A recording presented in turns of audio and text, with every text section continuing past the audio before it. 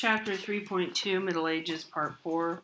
So we're talking about the pilgrimages, and we're going to start to look at the um, churches, and we have a nice map of um, the routes.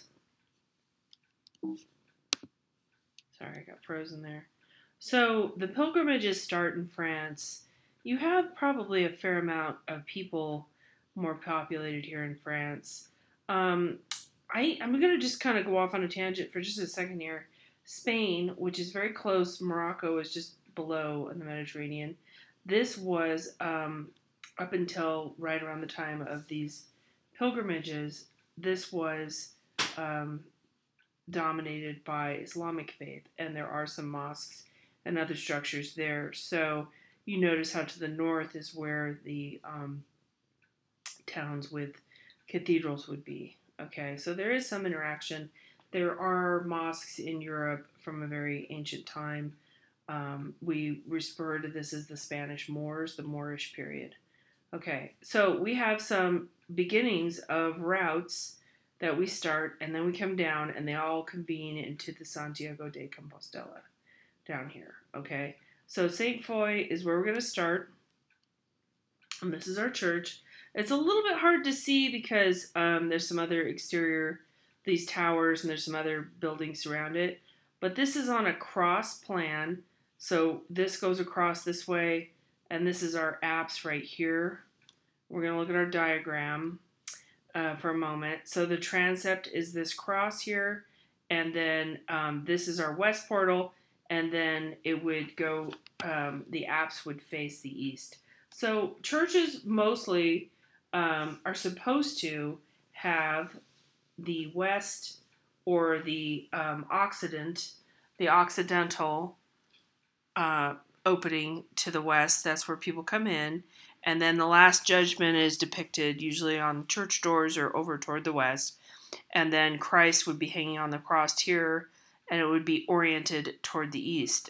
And one of the reasons for this is that the sun rises in the east, and Christ is the sun, the S U N, as well as the S O N, um, and he is associated with um, the sun rising. So that's how the church is going to be oriented. You can see this right here. Okay, so we're going to go back. Oh, so here we are with our apse, and our nave is this larger segment of the um, uh, upright, if you will, or the long area. So this is a small town that was made famous by the uh, relics of Saint Saint Foy or Faith, the Faith Saint of Faith, and um, this saint lived uh, and um, in sorry in uh, 290 or 303 of the Common Era. So she was tortured to death um, with a red hot brazier. I'm getting this from page 404 and her resting place was originally in Agen, A G E N. Um, it's a much larger place a few miles away, and a monk stole her relics and brought them to Saint to this area and to Conques. I don't know how you say it. C O N Q U E S. So it's kind of interesting that a monk stole the relics and then made the church famous. I, I don't know what to say about that. So it's a Latin cross plan, that's what this is called, and it's designed to guide the flow of pilgrims and the congregation. We're going to back up and look at the larger one again. So east displays a crucifixion, and the west is the last judgment, mimics the sun's path. Now we're going to back up again. So the ambulatory is the critical thing we're, we're wanting to know about in regards to the pilgrims. So we have the regular church service going on here with the apse here with um, the holy relics or the cross or both.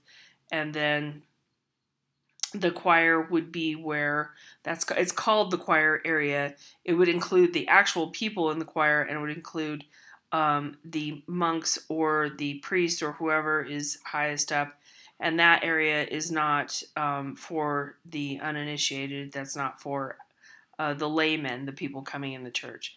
There's pews all along here, um, but there are relics perhaps and different shrines all around. You see these little radiating chapels? Those are where the little um, relics or shrines that you'd want to come to see as a pilgrim would be.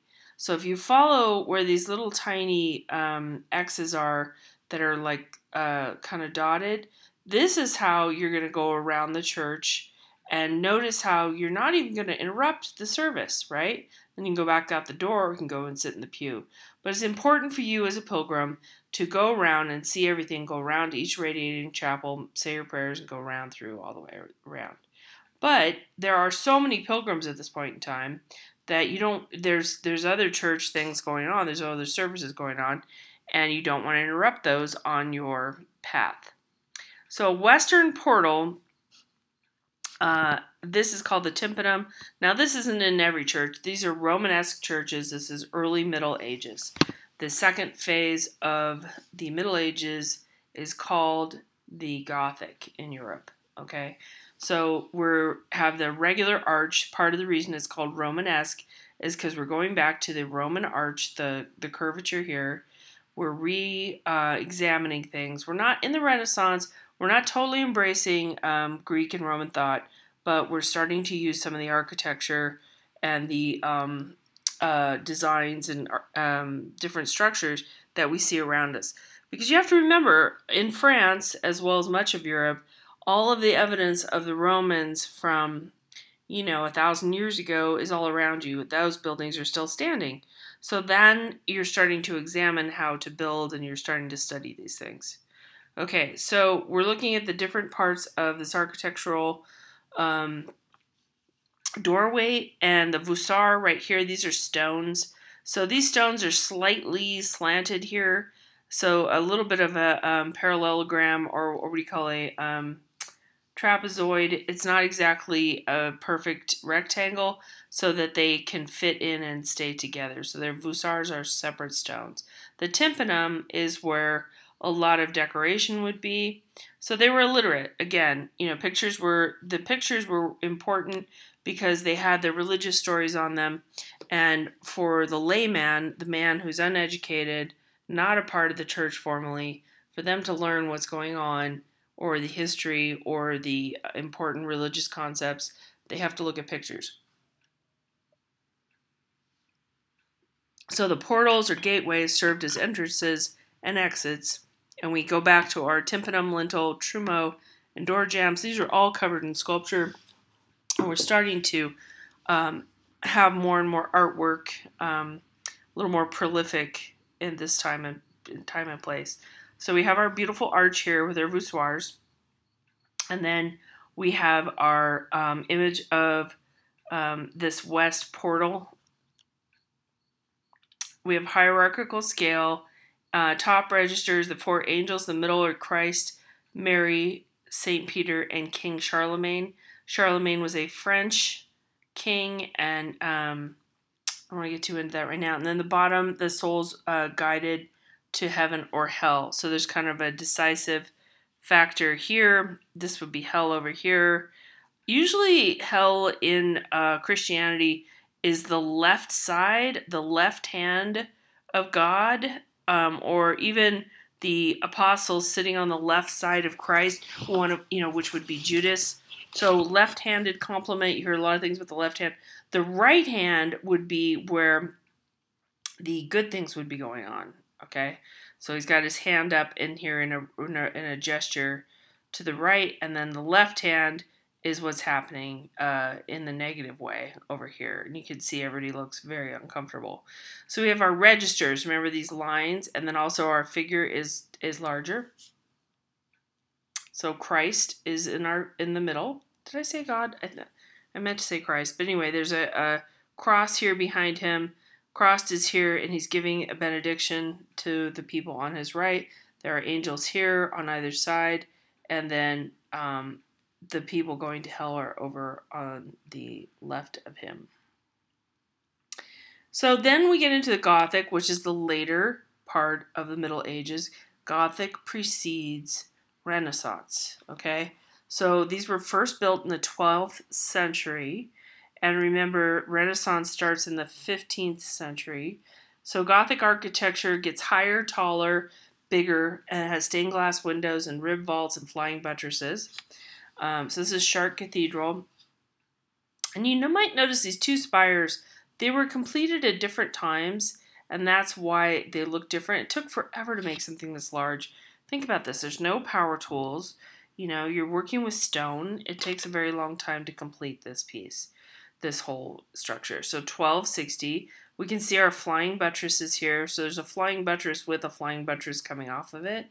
A solid buttress will hold the weight of the dome or the uh, vaulted ceiling, but a flying buttress will do just fine. And they they figured out some of this engineering to make it look a bit lighter and less heavy. Here's our rose window here.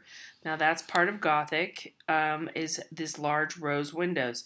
They engineered this well enough so that they could start to open up the space on the inside and have it less heavy uh, looking.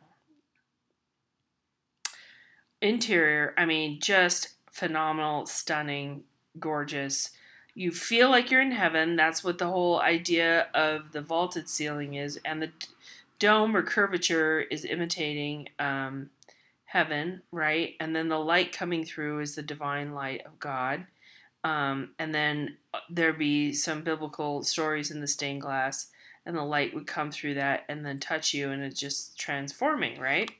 So you see our pews. We're in our nave. Here's the apse. You can't really see the transept from here, but it's over there. And we have here a labyrinth, which was um, sometimes put in stone or painted or, you know, in mosaic on a floor um, for various churches. And these are around today. It's like a meditative exercise. And it also can sort of mimic the pilgrim pilgrimage walk, if that makes sense. It's a way to walk in a respectful, quiet way um, that doesn't disrupt the rest of the church. So it's symbolic of the spiritual and physical journey the ceiling is 118 feet high and the nave is 850 feet wide. Um, so our width here, side to side, that's 50 feet. That's quite large. Pathway is designed to guide pilgrims to the many chapels containing the relics. And the tunic of Virgin of the Virgin Mary worn at Christ's birth is here. Now, a lot of these things we don't, you know, how do you verify this? Where's the DNA? We don't, we don't know for sure, but that's what we believe. Okay.